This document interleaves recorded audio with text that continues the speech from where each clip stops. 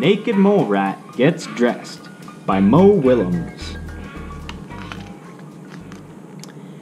There is so much to learn about the fascinating little creatures known as mole rats, but for this story, you only need to know three things. One, they are a little bit rat.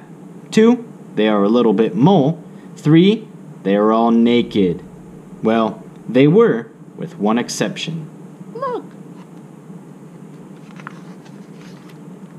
Wilbur, the naked mole rat, who liked to get dressed. Hello.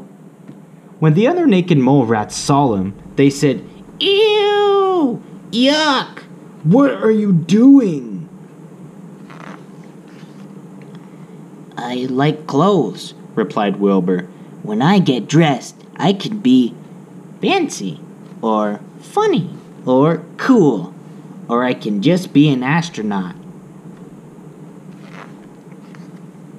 When the others heard that, they said, Ew! Yuck!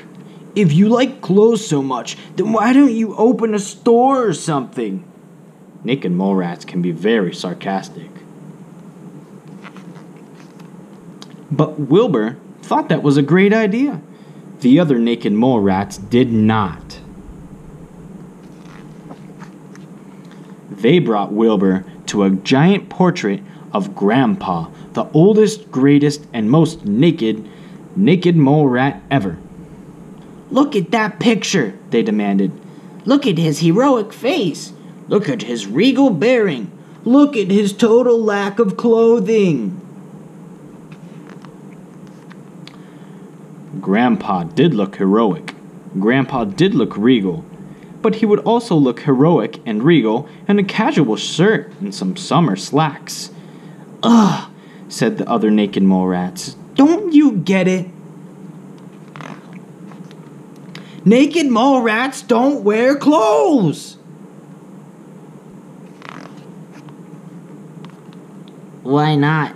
asked Wilbur. Something had to be done. The naked mole rats marched right over to Grandpa and told him all about Wilbur.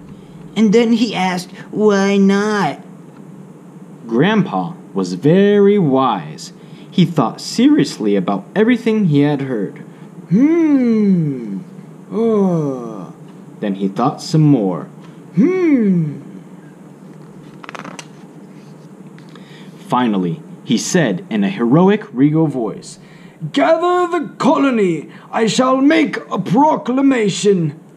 When Wilbur heard about Grandpa's proclamation, he knew it was serious. A proclamation! A proclamation! A proclamation!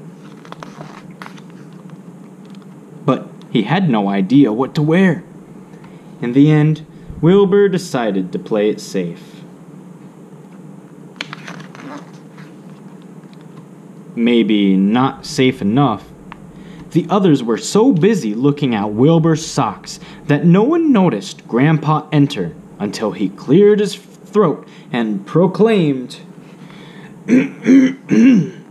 Fellow naked mole rats, I had never worn clothes until I heard Wilbur's simple question Why not? Why not indeed? Do clothes hurt anyone? No. Are they fun?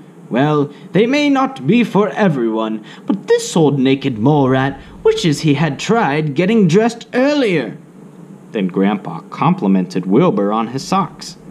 As fast as his legs could take him, Wilbur rushed home, put on his favorite outfit, and dashed back. When he returned, Wilbur discovered he was not alone. Much has been said about that day, but for this story, you only need to know three things. 1. Some of the mole rats were naked. 2. Some of the mole rats were clothed. 3. All of the mole rats had a great time. No exceptions. The end.